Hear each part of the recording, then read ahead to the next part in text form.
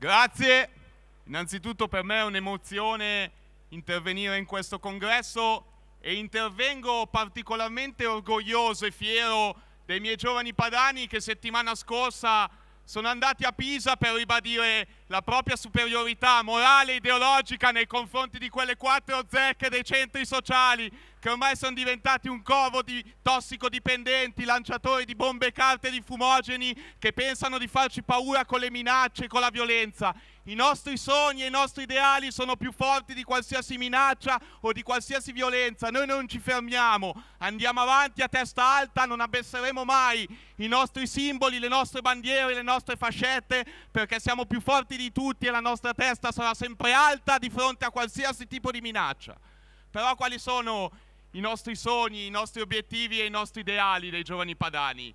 Innanzitutto la lotta incondizionata, senza se senza ma, nei confronti dello Stato italiano, che per noi continua e continuerà a essere il primo nemico. Noi combatteremo sempre contro uno Stato che accoglie gli immigrati clandestini a 32 euro al giorno con vitto alloggio pagato e lascia i nostri giovani, i nostri anziani sotto un ponte o in mezzo a una strada. Noi stiamo con i nostri giovani, con i nostri anziani e vaffanculo agli immigrati clandestini che se ne tornino da dove sono arrivati perché non c'è più posto per nessuno né a Milano né a Brescia né in tutta la Padania. Però secondo me adesso abbiamo i mezzi per fare una lotta senza se senza me nei confronti dello Stato italiano. Agendo soprattutto dalle regioni, agendo soprattutto con i governatori della Lombardia Roberto Maroni e del Veneto Luca Zaia. Io chiedo di continuare a portare avanti il tema del 75%, il 75% delle tasse dei contribuenti lombardi devono rimanere in Lombardia.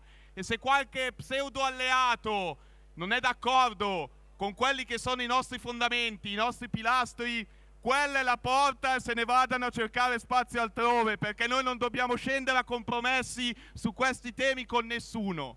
E poi, come ha ribadito prima Luca durante il suo intervento, il tema del referendum. Il referendum si deve fare, ma perché non lo chiedono soltanto i militanti, ma lo chiedono i cittadini lombardi. È scritto su questo cartello, siamo stufi di devolvere 153 milioni di euro allo Stato italiano che in cambio non ci dà niente e ci sta togliendo ogni speranza nel futuro e nell'avvenire.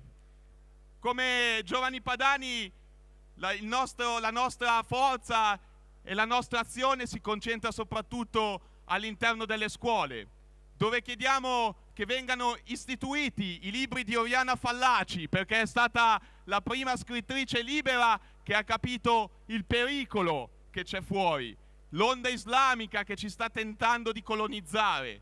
Chiediamo che all'interno delle classi siano stabilite delle quote di studenti extracomunitari, perché chi parlava il turco, l'albanese o il rumeno fino all'altro ieri non può e non deve, non deve studiare con i nostri studenti. Chi parla l'italiano da dieci anni non può sempre venire dopo rispetto agli altri le scuole devono, e le classi non devono essere dei ghetti dove studiano e dove eh, lavorano studenti extracomunitari, quindi al massimo tre per classe e prima devono certificare la loro comprensione della lingua italiana, altrimenti vadano altrove.